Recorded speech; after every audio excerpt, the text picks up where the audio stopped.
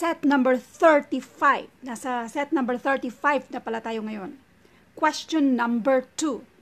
Alan has been ill and work only three-fourths of his usual 40-hour week. He makes 123 pesos and 50 centavos an hour. How much has he earned this week? Is it letter A, 2,470 pesos? B, 3,087 and 50 centavos? 3,705 pesos? And letter D, 4,322 pesos and 50 centavos.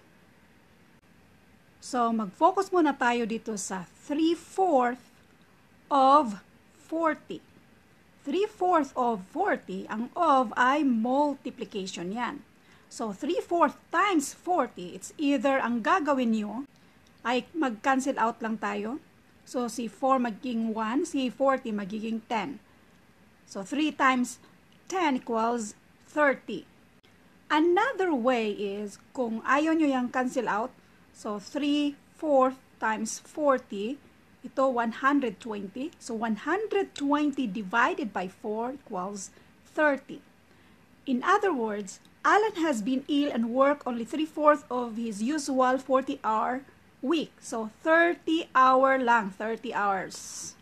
30 hours lang ang natrabaho niya in that week. He makes 100, erase muna natin ito, 123 and 50 centavos. 123 pesos and 50 centavos an hour. So, kada oras, meron siyang 123.50. Nagtrabaho siya, how much has he earned this week? Eh, this week, nagtrabaho siya ng 30 hours. So, i-multiply mo lang siya. 123.50 times 30. Erase muna natin lahat ito. Now, i-multiply na natin yan. 123 pesos point 50 centavos. Pero yung 5 lang ang isulat na natin, ignore lang natin yung 0 na yan. Kapag after na sa decimal, may 0 yan, so ignore na natin yan. So, times 30.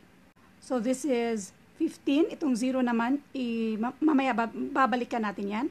So, this is 15, 9, 10, carry 1, and this is 7, and this one is 3. At yung 0, i-add na natin. Ang decimal place ay isa lang. So, 1. So, ang sagot dito ay 3,705.